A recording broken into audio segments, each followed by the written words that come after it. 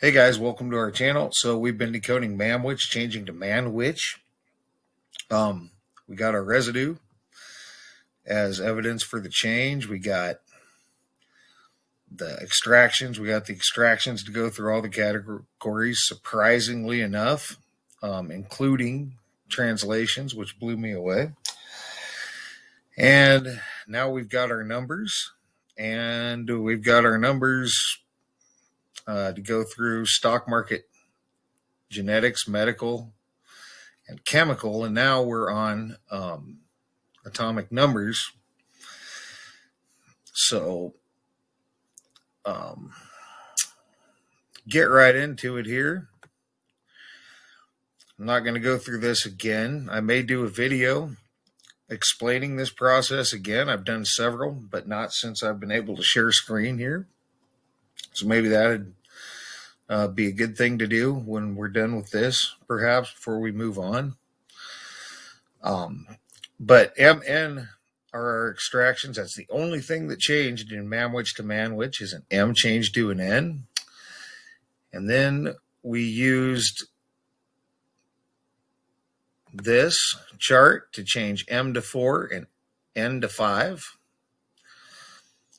So you got 45. And we went ahead and took the liberty, since 9 is a pretty big number to these people, to add 4 plus 5 is 9, and we're getting that as well. So if we start with the number 45, atomic number 45 is rhodium and it is a hard, shiny, silvery metal. Um, some major uses it looks like is cat- catalytic converters. Um, it's also a catalyst, also used as catalyst in the chemical industry for making nitric acid acetic acid and hydrogen re- and, and hydrogen reactors. It's used to coat Uh, optic fibers and optical mirrors. And for crucibles, thermocouple elements, and headlight reflectors. It is used as an electrical contact material as it has low electrical resistance and is highly resistant to corrosion. And there's no known biological role. It is a suspected carcinogen. All right. So that's 45. Now we're going to go do four by itself because we can. And number four, atomic number four here, is beryllium. All right.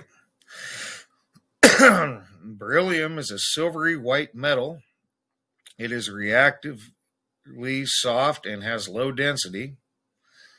And it looks like it's used in alloys with copper or nickel to make gyroscopes, springs, electrical contacts, spot welding electrodes, and non sparking tools.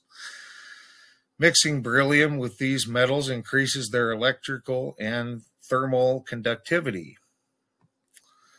Beryllium is a or other beryllium alloys are used as structural materials for high-speed aircraft missiles, spacecraft, and communication satellites.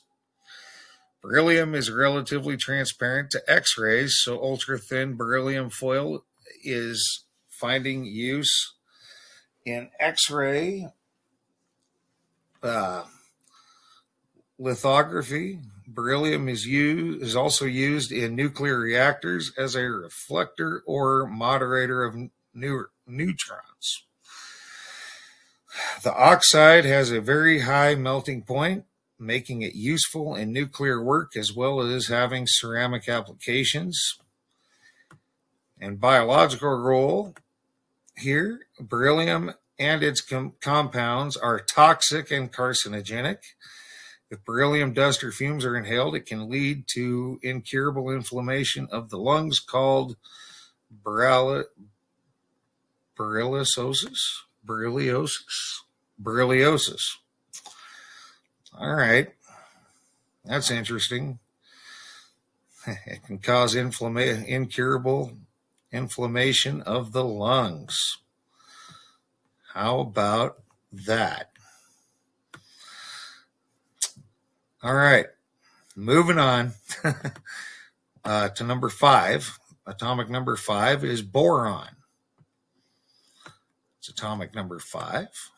Atomic number five, right here.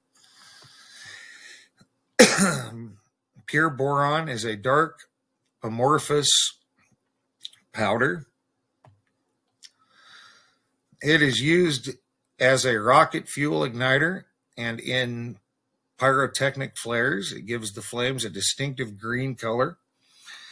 Uh, the most important compounds of boron are boric or boracic acid, borax, sodium borate, and boric oxide. These can be found in eye drops, mild antiseptics, washing powders, and tile glazes. Borax used to be used used to be used to make bleach and as a food preservative used to. Uh, boric oxide is also commonly used in the manufacture of borosilicate glass, Pyrex. It makes the glass tough and heat resistant. Fiberglass textiles and insulation are made from borosilicate glass. Uh, sodium octorbate, oct, sodium octaborate is a flame retardant, and the isotope boron 10 is a is good at absorbing neutrons. This means it can be used to regulate nuclear reactors. It also has a role in instruments used to detect neutrons. Uh, boron and biological role here. Boron is essential for the cells, for the cell walls of plants. It is not considered poisonous to animals, but in higher doses, it can upset the body's metabolism. We take in about two milligrams of boron each day from our food and about 60 grams in a lifetime. Uh, some boron components are being studied as possible treatment for brain tumors. All right. So that's number five. That gets you through going forward. Now we're going to come back.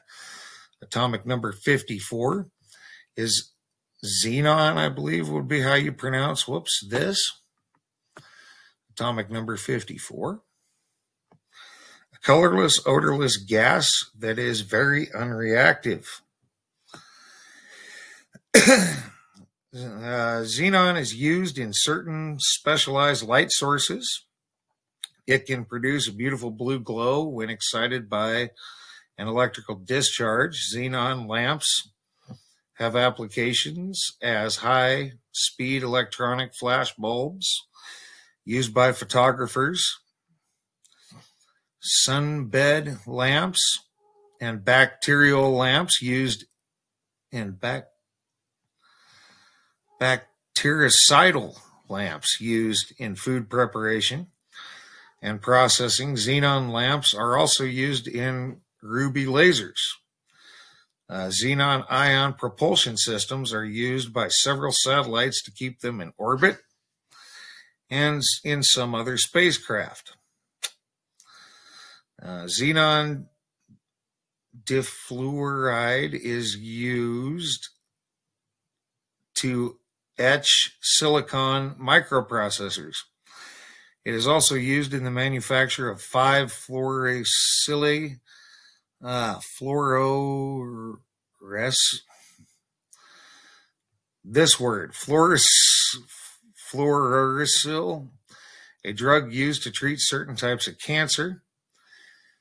And it has no known biological role. It is not itself toxic, but its compounds are highly toxic because they are strong oxidizing agents. All right. And that leads us to number nine, four plus five, and fluorine. And there's an actual Mandela effect on this uh, fluoride, fluorine, um, which is interesting. Atomic number nine. Um, it is a silver, a very pale yellow green. Excuse me. it, it is a very pale yellow green, dangerously reactive gas. It is the most reactive of all of all the elements and quickly attacks all metals. Steel wool bursts into flames when exposed to fluorine. Um, there's no commercial production of fluorine. There was no commercial production of fluorine until the Second World War, when the development of the atom bomb and other nuclear energy projects made it necessary to produce large quantities. Before this, fluorine salts, known as fluorides, were used for a long time in welding and for frosting glass, were for a long time used in welding and for frosting glass.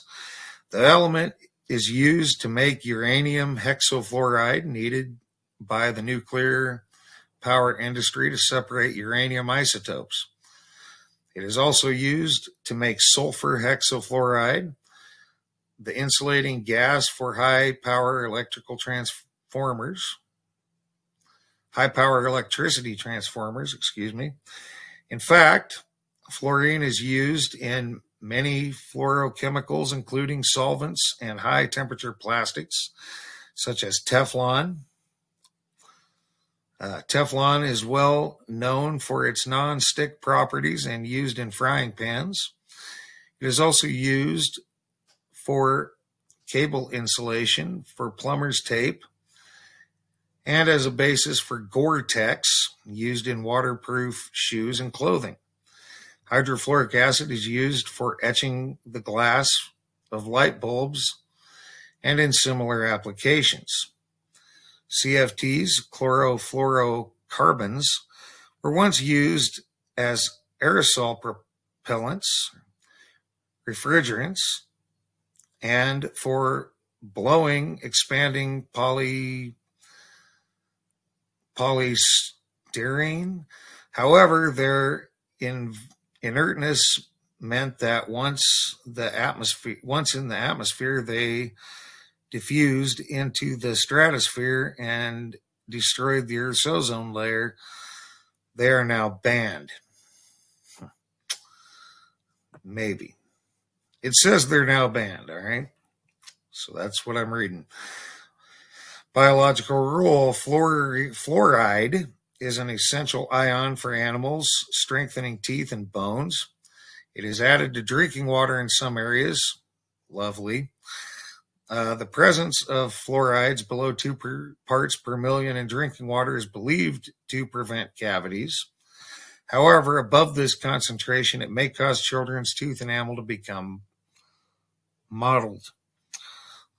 Fluoride is also added to toothpaste. The average human body contains three milli- about three milligrams of fluoride. Too much fluoride is toxic. Elemental fluorine is highly toxic. All right. And that gets you through going forwards and backwards in atomic numbers. And we'll do artificial intelligence next. So that's going to be it for this one. Um, I'll try to come out with artificial intelligence later today or tomorrow. So uh, for now, guys, uh, thanks for your thumbs up, thumbs down when appropriate. Thanks for your comments, leads, feedback, and subscriptions. And uh, thanks for watching, guys. And for now, you guys have a great rest of your